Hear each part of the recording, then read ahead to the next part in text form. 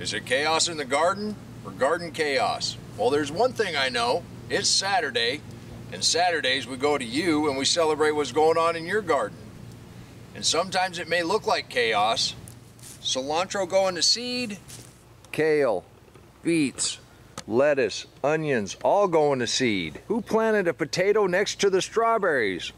Or the kale, or the squash that all came up voluntarily? One thing I do know, the blackberries are getting ripe. We've got a whole batch of turmeric coming up on their own. And what I've heard called chaos, I think more of diversity, the different kinds of plants in one area. Sort of like you and your gardens. Let's go ahead and take a look at a couple that are very diverse. Walter's garden is an example of order out of chaos growing in a small deep mulch area. The beans and cucumbers will be sharing the same vertical space wrapping around the okra and the determinate tomatoes. I think he's got some root crops down underneath. His family has also been adding some fresh green beans to their delicious dishes. Walter, this is incredible. Thank you. Bruce's deep mulch Florida garden may also seem a bit chaotic, but is actually full of all kinds of goodies in all stages and manner of planting, with more coming in all the time. Bruce and Mona just step out and harvest fresh fruits and vegetables every day for dinner.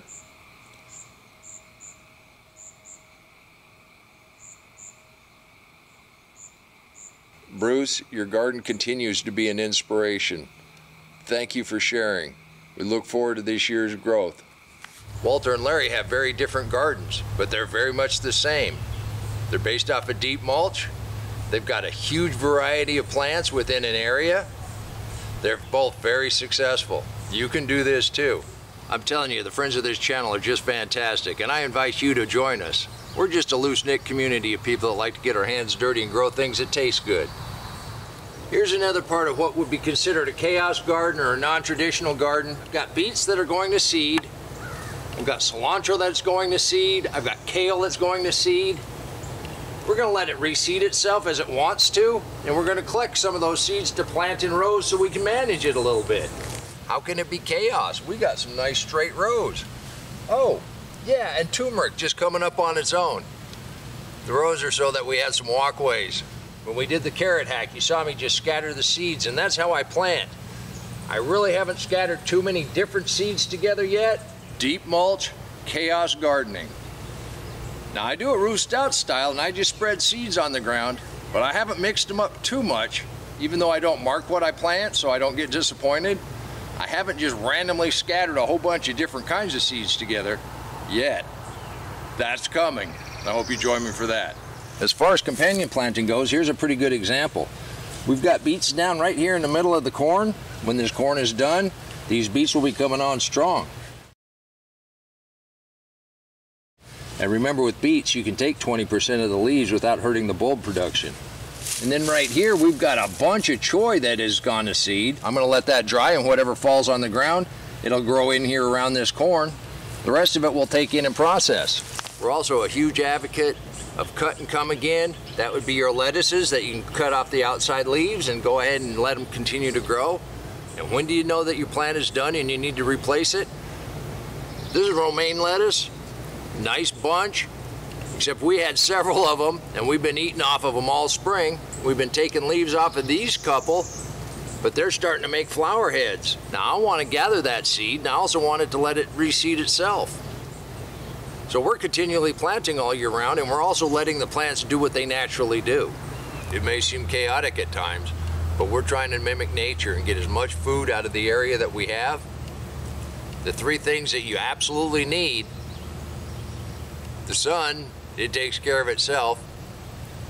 Water, we get a lot of rain most times, and then the soil.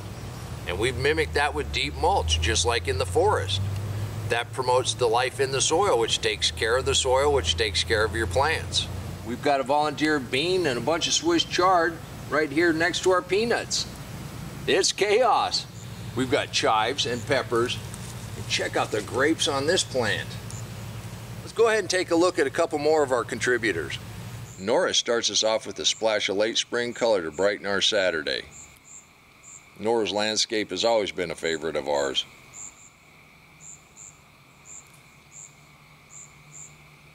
Nora, your creativity and your plants are wonderful as always. Thank you. Larry's berries have started to ripen just as he's dug his first tomatoes. We're glad to see you, Larry, and we look forward to seeing what you have in store for us this year. Diane's boysenberry is coming along nicely, along with peppers, tomatoes, and a very large variety of interplanted beauties. Another excellent example of companion planting to make the most of the available space. Diane, thank you. Leave a comment down below and let everybody know just how much you appreciate them sharing what's going on in their garden. So we're trying to mimic nature. You know, flower where you root, things come up wherever the seeds land. We companion plant and we let things go to seed as they need to. We let them go ahead and reseed the garden. We've got new things coming up all the time, just like in nature. It's just overnight. We've got a squash that just came up on its own next to this amaranth that came up on its own. Yes, this doesn't look chaotic. This is just corn. But the way corn pollinates is chaotic. It needs the wind and it just blows that pollen around. So we've got three rows. It's kind of tight right here. And that and as they grow, is going to allow it to pollinate really well. But it is a good idea to know the characteristics of some of the plants in your garden. Some of them actually do need a little bit of spacing. I do invite you to join us. Become a friend of this channel. There's no commitment necessary. Just send a picture in once in a while. Help motivate others how to grow a garden. Until next time, remember, take care of yourself, take care of your family, and God bless you.